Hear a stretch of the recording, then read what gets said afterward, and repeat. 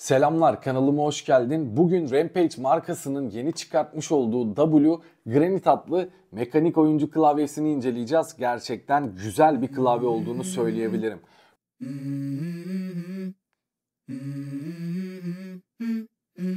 Let's go.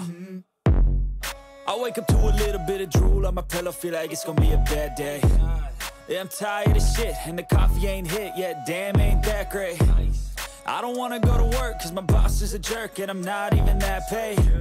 I need a change in my life, cause I don't feel alive, and there's nothing that makes me happy. Oh.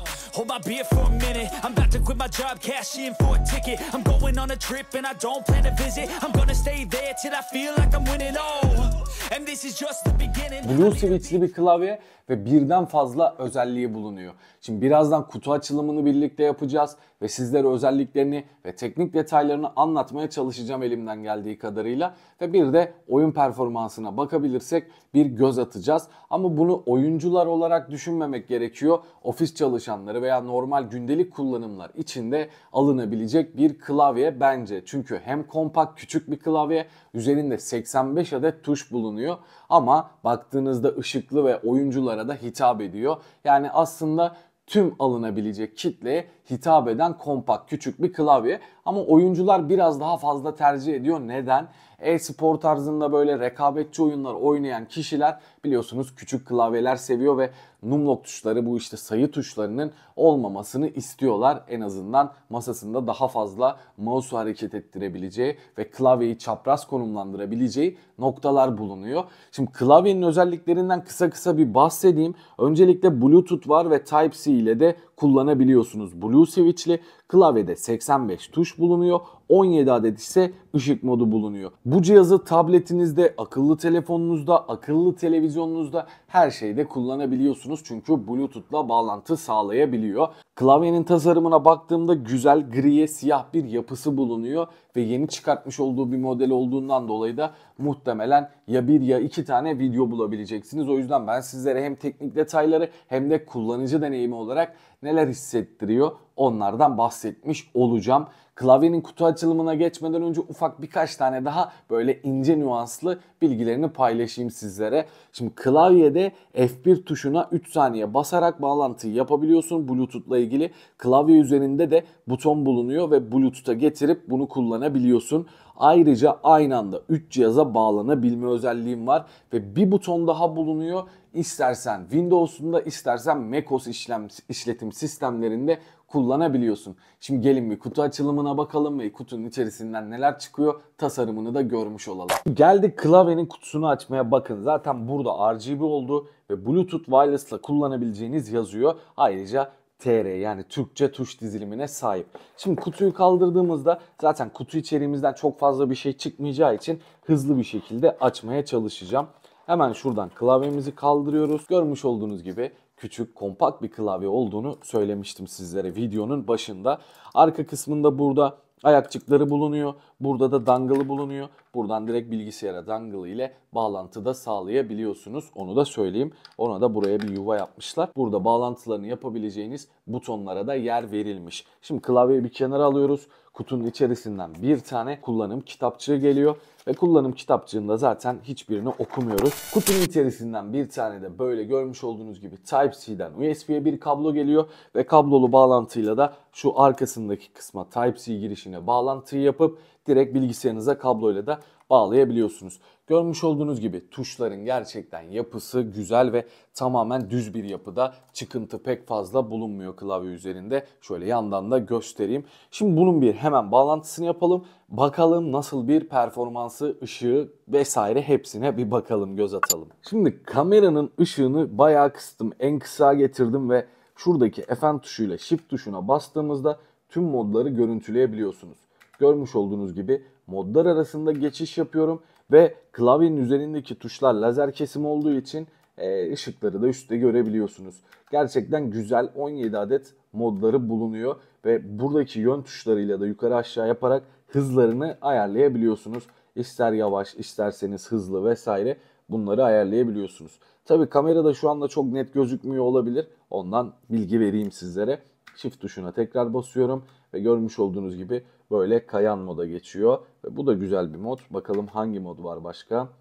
Böyle yanıp sönme, nefes alma gibi bir modu bulunuyor. Bu mod nasılmış? Bu da böyle güzel yanıp sönen farklı bir mod. Gene nefes alma moduna benziyor. Şöyle bakalım. Bu da nefes alma modu gibi. Aslında birçok modu bulunuyor. Bu da herhalde evet bak tıkladığın yerde ışık yakıyor görmüş olduğun gibi. Yani net olarak bunları da sizlere göstermek istedim. Ama ışıklandırması güzel zaten detay çekimlerinde bunları göstermiş oldum sizlere. Klavyenin kutu açılımını yaptık ve ilk başta zaten sizlere detay çekimlerini göstermeye çalıştım. Şimdi de detay çekimlerini paylaşmaya çalışıyorum. Üzerinde 17 adet dediğim gibi renk modu bulunuyor ve bunlara FN tuşu ve yandaki Shift tuşu yani ışık tuşu gözüküyor zaten üzerinde amblem olarak yapıştırmışlar. Oradan direkt değişimini sağlayabiliyorsunuz. Şimdi klavyenin birazcık kısa kısa kullanıcı deneyimi olarak paylaşayım. Klavyenin alt kısmında ayaklarını yükseltme kısmı kauçuk plastik bir malzemeden yapılmış. Diğerleri biliyorsunuz plastikti. Bu biraz daha böyle kauçuk bir malzeme olduğu için tamamen masaya yapışıyor ve kaymamasını sağlıyor. Klavyenin yan kısmında 2.4 GHz ve Wi-Fi butonu bulunuyor. Ayrıca Mac ve Windows'lara da hangisinde kullanmak isterseniz bağlantı yapabileceğiniz orada gene bir buton bulunuyor. Bu klavyeyi 3 cihazınıza bağlayabiliyorsunuz aynı anda. Yani şöyle düşünün televizyonunuza bilgisayarınıza ve telefonunuza bağlayarak bunlarda da kullanabiliyorsunuz. Bu da güzel bir özellik olmuş. Klavyenin hemen bir boyutlarını da sizlere paylaşayım. Öncelikle genişlemesine 31 santim, yukarıdan aşağıya ise 12-13 santimlik bir mesafesi bulunuyor. Bu da gerçekten küçük olduğunu gösteriyor. Evet ilk etapta biraz alışmanız zor olabilir onu söyleyeyim. Ben mesela sayıları olan klavye kullanıyorum şu anda ve birazcık zorladı beni. Ama böyle yaklaşık 3 saat 4 saat hani hiç durmadan oyun oynama, yazı yazma gibi işleriniz olduğunda alışım sağlayabiliyorsunuz hızlı bir şekilde. Siyaha gri bir yapısı bulunuyor. Bu kameraya da göstermek istiyorum. Tabi stüdyo ışıklarında şu anda renkler gözükmüyor ama ben sizlere detay çekimlerinde bunları ışıkları kapatarak da göstermeye çalıştım. Bu cihazın biliyorsunuz USB girişi. Ben bunu bir USB dönüştürücüyle Type-C'ye dönüştürüp telefonuma takarak da kullanabiliyorum. Ya da hiç buna gerek yok. Şöyle düşün. Direkt Bluetooth'la telefonuna, tabletine, televizyonuna, bilgisayarına hepsine bağlayabiliyorsun kolaylıkla. Mesela televizyondan film açmak istiyorsun ya da menülerde geçiş yapmak istiyorsun. Hemen klavye üzerinden tak tak geçiş yapabiliyorsun. Klavyenin şimdi sizlere bir ses performansını dinletmek istiyorum.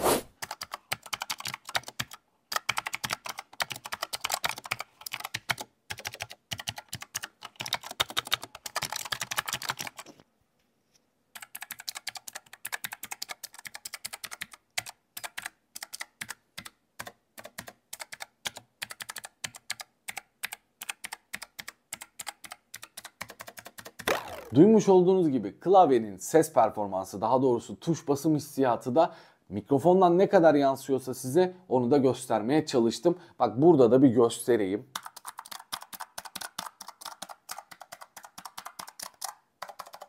Blue switch'li bir klavye olduğu için sesi böyle bir tık yüksek ama çok değil diğer Blue switch'li klavyelere göre ve biraz daha sizi tatmin ediyor onu söyleyeyim. Ben şu anda kırmızı yani red switch'li bir klavye kullanıyorum ama onun sesi buna göre yani bu daha iyi diyebilirim. Hoşuma gitti. İncelemek isterseniz açıklamaya link bırakıyorum oradan ister satın alabilir istersen de klavyeyi inceleyebilirsin. Sormak istediğin sorular olursa da yorumlarda buluşalım. Görüşmek üzere.